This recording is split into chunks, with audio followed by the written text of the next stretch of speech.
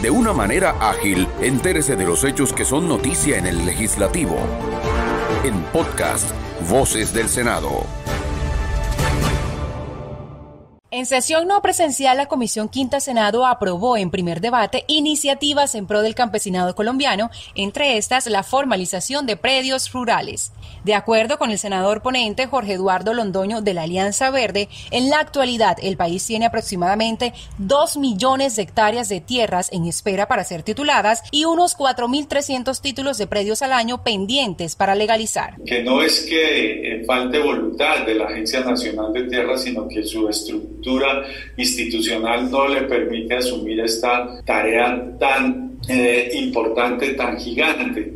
En cambio, jueces hay en todos los municipios del país. Por lo tanto, ellos pueden asumir esta responsabilidad. Otro de los proyectos abordado fue el 036 de 2020, por medio del cual se fortalecen los esquemas de agricultura por contrato, así como la metodología de sistematización y precios de las cadenas de comercialización sobre el tema pesquero y agropecuario, con la ponencia de los senadores Didier Lobo y Alejandro Corrales quien indicó que es fundamental hoy más que nunca darle herramientas a este sector para que se pueda agilizar el tema de comercialización, que el productor y el eh, comprador de manera ágil se puedan encontrar, que los intermediarios en los casos en que no sean necesarios eh, los podamos obviar y en donde sean necesarios se pueda garantizar que no son un peaje que agreda a los productores y también a los eh, consumidores. Sobre la ley que beneficiaría a más de 130 mil productores colombianos, el senador Didier Lobo de Cambio Radical expresó.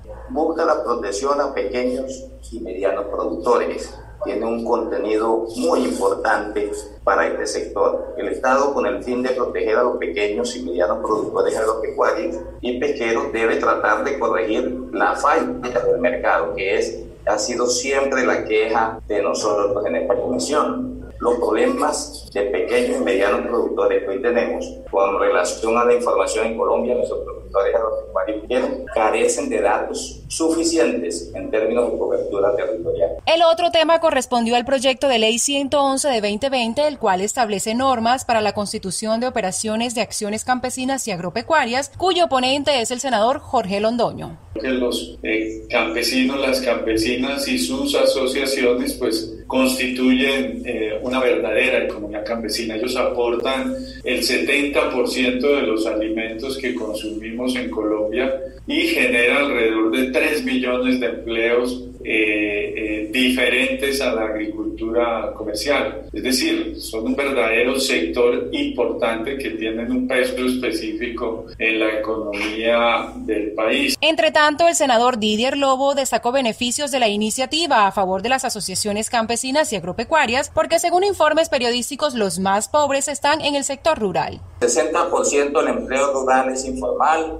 el 83% de la población rural está en el régimen subsidiado de salud, el 55% de los campesinos pobres nunca han recibido asistencia técnica, el 11% no tiene vivienda, el 16% tiene vivienda pero en mal estado, el 85% de esta población carece de alcantarillado. El crecimiento del PIB rural en la última década fue 2.8%, que requiere de la atención del gobierno nacional. Y yo pienso que por eso este proyecto va en dirección con lo que siempre hemos promulgado aquí. Las tres iniciativas fueron aprobadas por unanimidad y seguirán su tránsito en la plenaria para convertirse en ley de la República.